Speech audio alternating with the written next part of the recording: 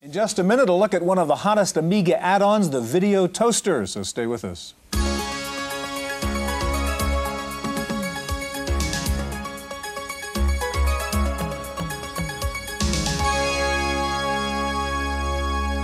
Well, we know the Amiga is good for music and animation, but it is also now the ultimate video machine, thanks in part to the Video Toaster.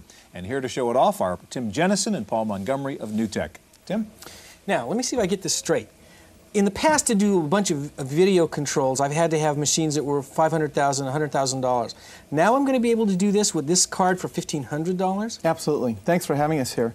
We showed the toaster recently at the National Association of Broadcasters show, and this is where the engineers go to buy their stuff. And they came by the booth and they said things like, this is unbelievable, this is revolutionary that you can do this in a box for this price.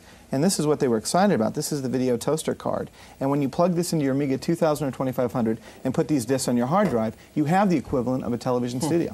All right, Tim, we want to take a look at some of the things you can do with the toaster. F first of all, tell us what the physical setup is here. What do you have? Okay, I've got my own cameras here on, on corners of your table. Okay, so we've got your two little cameras Right, and the toaster is installed in this Amiga 2000. And the cameras are sort of inputs into your toaster mm -hmm. control room, can, if you will. I can take up to four cameras or VCRs. Okay. Um, so first of all, the first thing you can do with four inputs is you can use the video switcher. So I've got one camera here on the screen. I can now do transitions from one camera to another, like this wipe.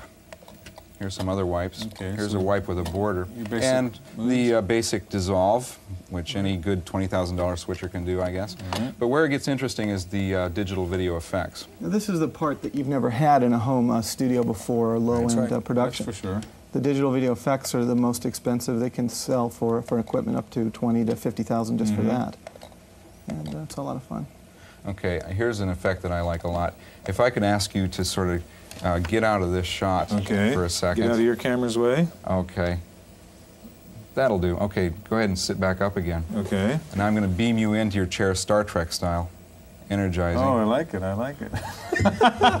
That's great. Okay, the next uh, major element of the toaster is the, uh, the paint box, uh, or the paint video paint system. And with that, you can, you can uh, create your own graphics. Mm -hmm. what makes this different than, say, uh, a computer paint program is the signals that come out of this are broadcast ready. You can put it right on the air. It has 16.8 million colors, and you can do a lot of uh, interesting things. Tim's mm -hmm. loading up a picture mm -hmm. here. Yeah, here's a frame that I created in probably 20, 20 minutes or so. You can freeze live video and bring it into your uh, paint mm-hmm. box graphics. Okay, another uh, major piece of this is the character generator.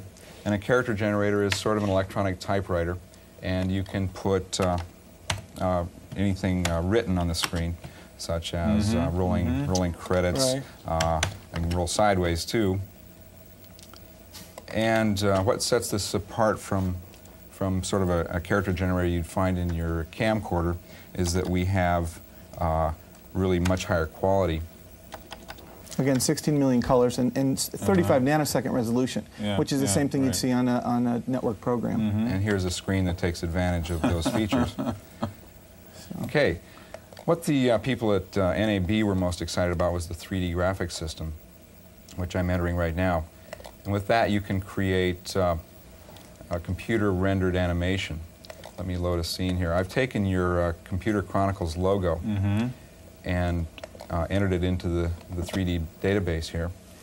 And with this system, I can set up the uh, start and end points of the animation. Mm -hmm. And um, then once I've got the camera angles and lighting and color all set up, then I render out to videotape. And we have a tape okay, we actually, Yeah, if we could roll that piece of video and see what the end product was here.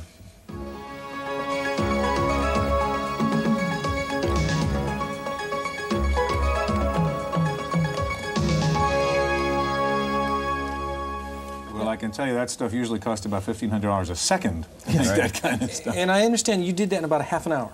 Mm -hmm. To set up the thing. To render it, it took a few hours to do. Now, now, uh, Paul, it does seem like magic. I mean, Tim was mentioning before, how do you do this? I mean, you've got every expensive machine you'd have in a TV studio coming off that one board. I mean, what's, what's the trick? Part of the magic is the Amiga. The Amiga of all the computers in the market is the only one set up with video timing. So you can uh, easily add uh, the circuitry we needed to do it. In the toaster we have four custom chips, and those custom chips give the horsepower to do everything. Plus uh, we have a 350,000 lines of code mostly assembly language, running an Amiga, and that's how it works. And, and who do you see as the user now? Is this really designed for the broadcast professional? Is this going to be high-end home video? Where do you see it going? Well, video is everywhere. It's sort of the new literacy. Yeah. And uh, people are using it in homes, schools, businesses. Uh, but the problem is that if video you make with your camcorder looks amateurish and uh, is boring, actually. Right. Uh, so the video toaster is designed for anybody that wants to bring a, a network quality look to their videos. And it is available as a product? It's shipping to Amiga dealers now and uh, has been uh, for a while. And the price is? Uh, $15.95. Okay, thanks very much, Tim and Paul. That's our look at the new Amigas. Stay tuned now for this week's computer news.